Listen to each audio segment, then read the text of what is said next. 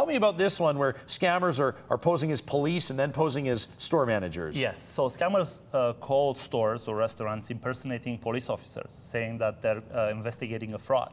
So you're a store clerk and you get this phone call from the police and they said, well, we're looking at this fraud and we're looking at, uh, at uh, customers who made large, large purchases in the last few hours. So could you please give us their names? So then they get the names and they call the customers now impersonating the store, saying that, hey, you were there at uh, Best Buy uh, 20 minutes ago and your card didn't work.